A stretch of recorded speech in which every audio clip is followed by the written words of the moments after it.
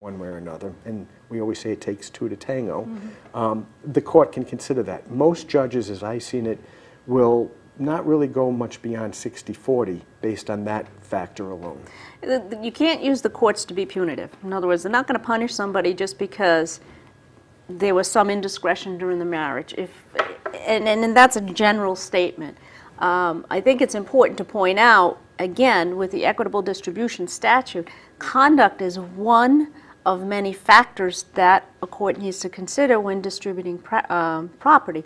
So it's just one factor, which is why David is mentioning you're not going to get more than 60-40 in most cases. Most cases. The other thing I want to point out too, in Massachusetts, there is a little difference in terms of what gets equitably distributed. What's part of the marital estate? Rhode Island, you do have a statute that says if a piece of property or bank account, whatever it is, is acquired through inheritance or gift, it's not part of the marital estate as long as it's not commingled. In Massachusetts, everything's part of the marital estate. So if you get it by gift, if you inherit it, even if you don't commingle it, it is part of the marital estate. It, it, we don't have a provision in the statute that excludes that particular asset. And the other thing that's important too, nothing can be part of the marital estate if you have an individual that comes to you with a valid prenuptial agreement. That also hasn't been invaded or. Exactly, and or things haven't commingled. changed, exactly. What about um, premarital in Massachusetts? You can look at the, in, the appreciation in value and how long they've had it. If, if somebody had a piece of real estate and they lived in it for 25 years, that's going to be marital estate. I, that's going to be a marital asset. Even if the person owned it prior to the marriage? Yes. What gets most sticky with all of this? Equitable sounds like a very reasonable word to work with, but equitable certainly seems like that's the, that's a critical issue for everyone. I think this is fair, no, I think this is fair. And part two to that question, I guess, is um, if something is appreciated in value, how does, how does that become evaluated? I, I imagine you can assign some dollar value to some things, but others not. How does that work? Well, first of all, um, part of determining what's appreciated and how much is the same way you determine what the value of any of the assets in an estate are. If you need to, you get appraisals. If it's real estate, you get a real estate appraisal. Um, if it's a personal property that's worth a lot, um, a collection of stamps or coins or whatever, you can get appraisals. So the lawyer, in conjunction with the client, has to go out and get appraisals if they're necessary to determine a value.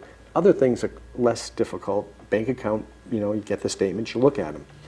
Um, stocks, you can set a starting point, what the value was when the marriage um, happened and what it is at the date of the divorce. So you can get those numbers.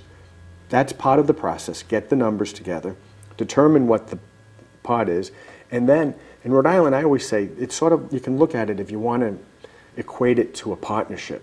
It's a 50-50 partnership. That's what you start at. And then you move from there if any of the factors determine a reason to move off of the 50-50. Um, I always tell clients that equitable distribution does not always mean 50-50. It means what's fair and reasonable. Not always 50-50, it's what's fair and reasonable, and it's um, what the court determines according to all the... Based on all those The factors. factors, all the... And that's about distribution of assets. What about alimony and how does that So play that's into where we're going to go next. Same thing. It- It's part of the um, uh, statute in Mass. We call them the 208, Section 34 sta- uh, factors, which is your divorce statute. Same thing for alimony as it would be for division of property. That's where you look at the age, the health, the occupation of the individual, their station in life, um, what they've been accustomed to, their lifestyle, what their lifestyle has been. In Rhode Island, the court does equitable distribution first. Yeah. Because you have to see what the needs of that person who might be entitled to alimony is going to be. If someone is left with millions of dollars in assets, they might not have a need for alimony if the assets can produce enough income for them to live off of. So the court will do equitable distribution determination first. Once that's done, the court will then look at exactly those factors Jackie said. And it's interesting, many people, I had a case that goes way back. And the client came to me, his wife was disabled, clearly um, many physical problems, couldn't work and wasn't going to work again, and not that old. And um, I had negotiated and recommended to him a settlement where we're going to give your wife more than 50% of the assets, including the house, And um, in exchange, they were going to waive alimony. And he was of the opinion, he heard, well, I heard Rhode Island only gives rehabilitative alimony. There's no such thing as permanent alimony anymore. I advised him that that was not the way I read the law and the way this, most cases were producing rehabilitative alimony, if any, but I set under the right circumstances with the right judge, which we had in that case for that mm-hmm. particular issue, a permanent alimony award is going to be made. He didn't like my advice, he left me. He went to another attorney. They ended up trying the case. The wife got the house, among other assets, and awarded permanent alimony, which the Supreme Court said um, in its decision on appeal that Rhode Island, under the right circumstances, still has permanent alimony. Most cases, you're looking at rehabilitative alimony, which is someone's been out of the workforce for a period of time, maybe raising children, um, taking a little break from the career to do that. How much time and how much money do they need to get themselves to bridge that gap back into the workforce. So most cases, we do look at rehabilitative alimony versus permanent alimony, but it depends on the circumstances and the factors that Jackie listed in the statute. And what I've seen in Rhode Island for purposes of rehabilitative alimony, usually between three and five years. And every case is different. Every case is different. So, uh, but I have seen between three and five years in Rhode Island. Now in Massachusetts, unfortunately, there is not rehabilitative alimony. It's called open-ended alimony. It's permanent.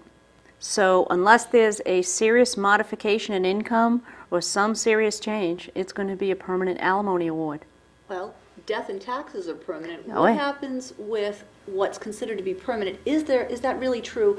Or are there other conditions that would make that permanent settlement now an open case? For example, uh, even looking at the situation as it is today, people lose their jobs, something happened, they can barely provide for themselves, never mind alimony for someone else. What happens then? Then you have a right to file a modification in either state, but you have to prove, the standard is you have to prove that there's a substantial change of circumstance. Substantial. That's substantial. If you make $10 more a week, that's not substantial.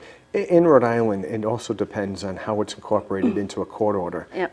As we talked about before, child support, visitation, custody, anything to do with the children, always modifiable. The court retains jurisdiction over that.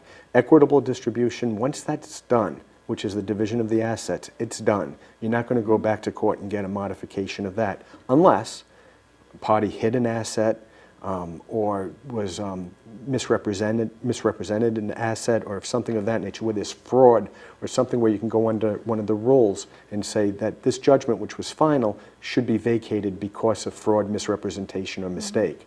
It has to be um, usually something significant.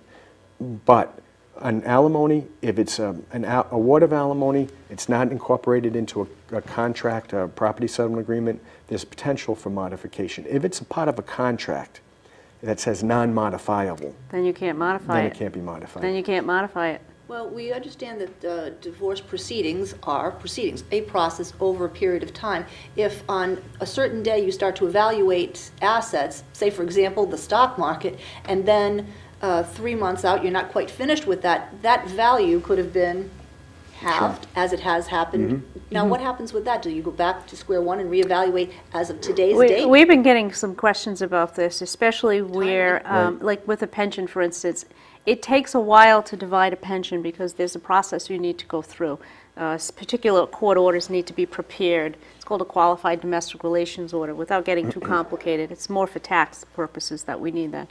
With pensions, it does take a while to get that document prepared, get it approved by whomever the fund manager is, and get it entered with the court. Sometimes it can take six to nine months. So we're getting questions that say, well, nine months ago, this was worth Mm-hmm. X. It was worth a heck of a lot more then than it is now. I want what was then versus what was now.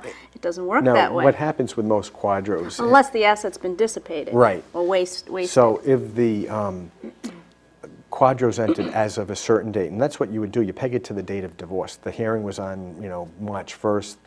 As of March 1st, whatever the value of the asset is, um, you're going to divide. And then the QDRO goes on to say, and each party is going to take whatever increases or decreases are as of the time that the QDRO is entered. So if it was worth X number of dollars on March 1st and it's gone down 10%, and it was a 50-50 division, both sides are going to have their, si- their share reduced by